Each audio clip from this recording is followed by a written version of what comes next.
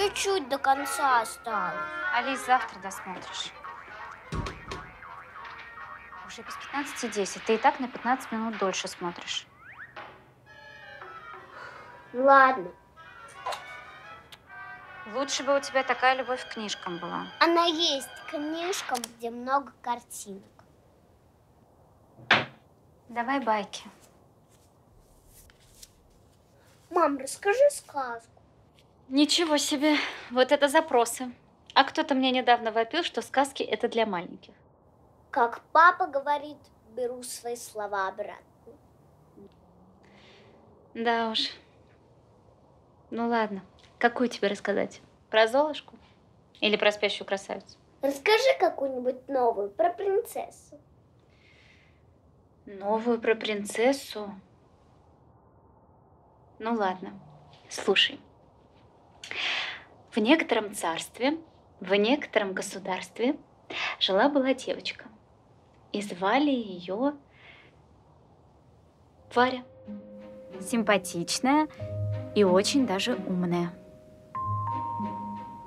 А родители ее были простые купцы. А купцы это кто?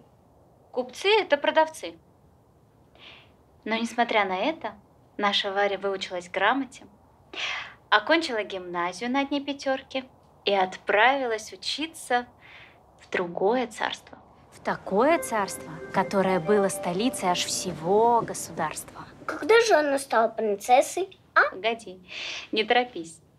Так быстро принцессами не становятся. И Варя это понимала.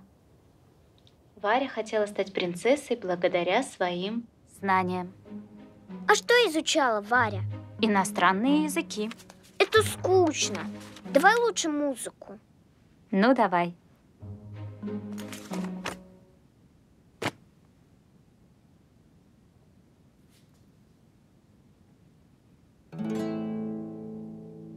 Значит, Варя прилежно училась, окончила институт с красным дипломом и нашла себе работу переводчиком в одном очень крупном замке. Мам, каким переводчиком?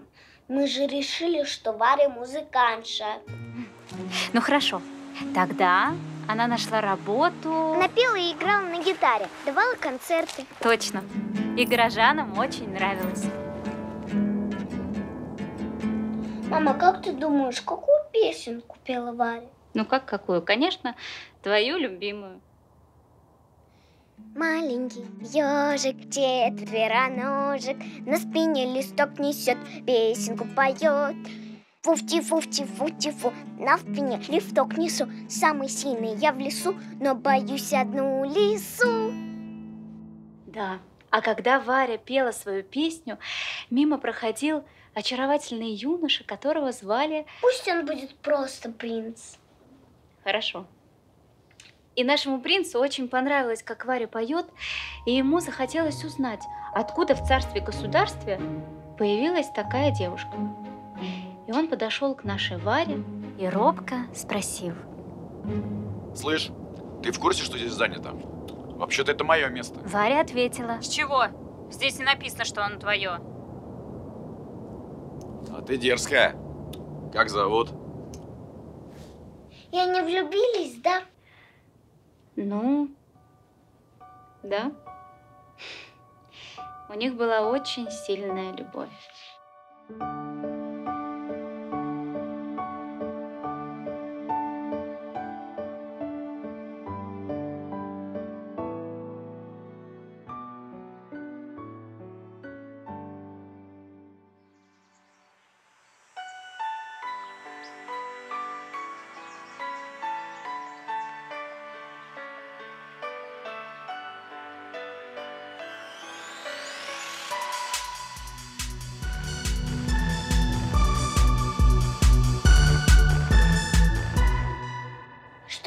Дальше? А дальше... Дальше их любовь подверглась сильным испытаниям. Мама принца, королева, была против их союза. Ну что опять? Послушай, мам, это в твоем мире все строится на прописках и деньгах. А мы с Варей поженимся и будем жить долго и счастливо. твоим благословением или нет, это уже совершенно не важно. Все, я все сказал.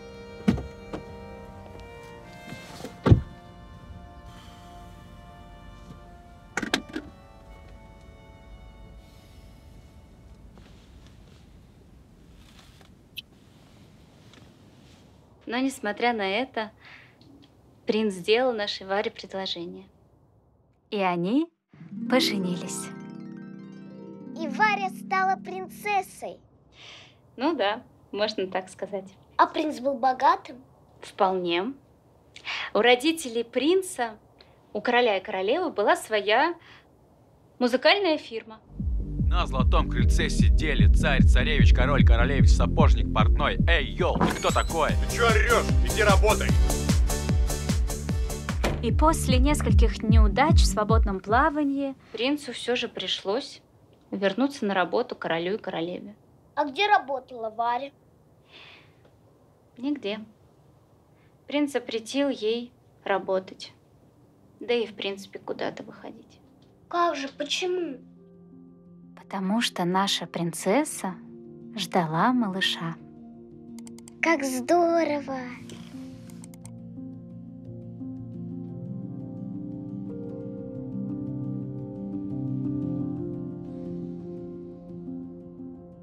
Наши Варя и принц были очень счастливы.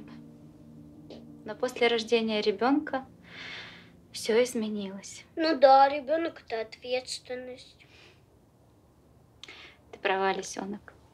Поэтому принц стал много работать, почти не появлялся дома. Ну а наша Варя, принцесса, сидела все время дома с малышкой и совсем справлялась сама. У них родилась девочка. Да. Самая прекрасная девочка на свете. И как же она справлялась с дочкой? К ней приехала ее мама, купчиха из соседнего царства, и очень сильно ей помогла. Но, к сожалению, она пробыла совсем недолго, потому что приехал принц и попросил, чтобы мама Вари уехала. Ну ты бы хоть постыдился так радоваться. Ну что вы, мама, я переживаю, как бы поезд не уехал. Поезд по направлению тещи Лэн прибывает на первый. Кстати, а вот и наш. Ну, как говорится, с катертью дорога. Счастливого пути. Хам.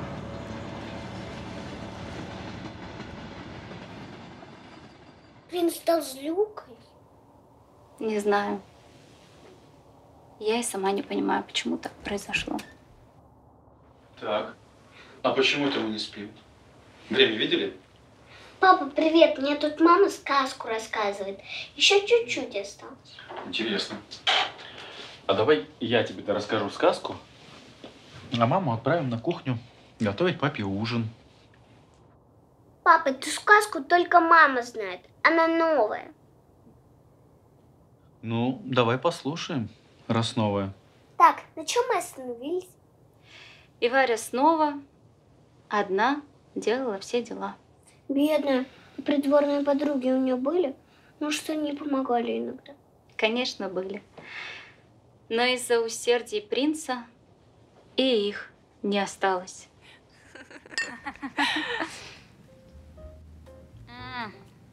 Так, я тоже тогда хочу сказать. Да, давай.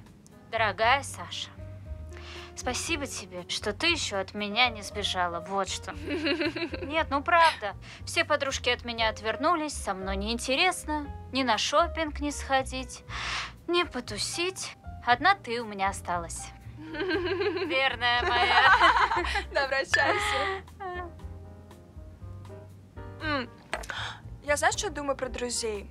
Так. Это вот не вот эти, да, с которыми там подружки твои, там потусить, в ресторан сходить, да, в кино. Друзья — это, это люди со схожей душевной организацией, которым хорошо вместе, классно, комфортно. Как нам с тобой, да? Я дома. Собака. Привет, Дим. Привет. А что за праздник?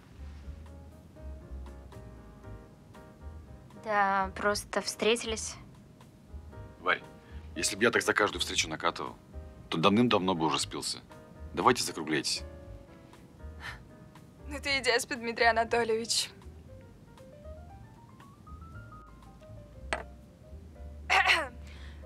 Знаешь, Дим, что я думаю, вот честно, да, я тебе скажу, давно собиралась. Ты Веру просто в рабыню свою превратила. Она у тебя дома сидит, не власть никуда. Мы с ней первый раз за полгода встретились, а ты себя так ведешь. Тиран ты, Дима, вот ты кто. Все. Закругляемся. Ага, разбежался. Наливай давай.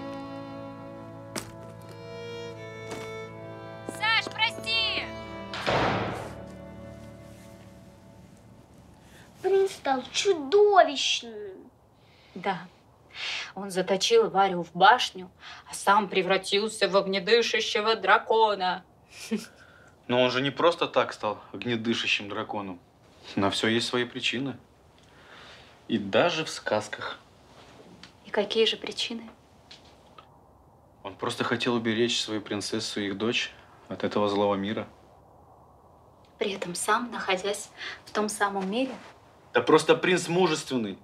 И у него достаточно сил, чтобы справиться с этим злом. да принцесса тоже сильная. Она же как-то жила до встречи с принцем.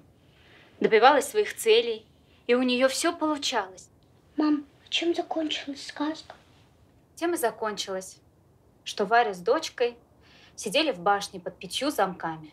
Нет, так нельзя. У сказок должен быть хороший конец. Мама, может, принца заколдовали? Но если только злые феи с его работы. Динь-динь и тук-тук. Значит, надо, чтобы Варя поцеловала принца и чары спадут. Точно. Принц заколдованный.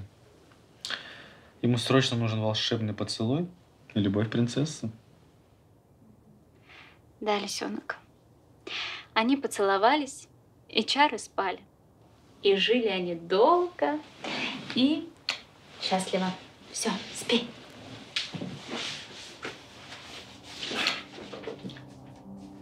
Еще мне кажется, что им нужно поговорить. Кому? Принцу и Варе. Спи.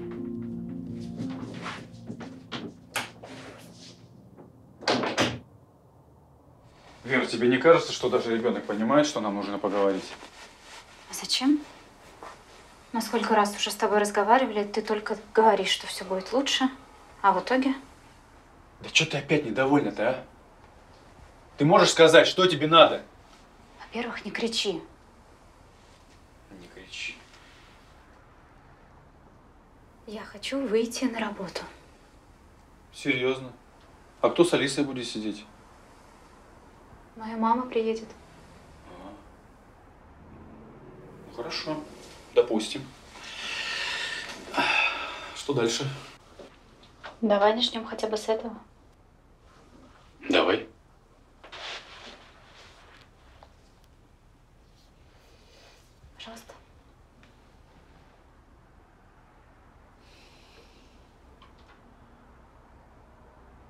Ольга Ильинична, здравствуйте. Извините, что так поздно. У нас тут дело срочно образовалось. Вера решила, видите ли, выйти на работу. Мгм. Да, и мы хотели бы вас попросить, если вам, конечно, не сложно, посидеть с Алисой некоторое время. Спасибо большое. Спасибо. Еще раз извините, что так поздно. Довольно. Как видишь, так просто все было. Ну, как сказать.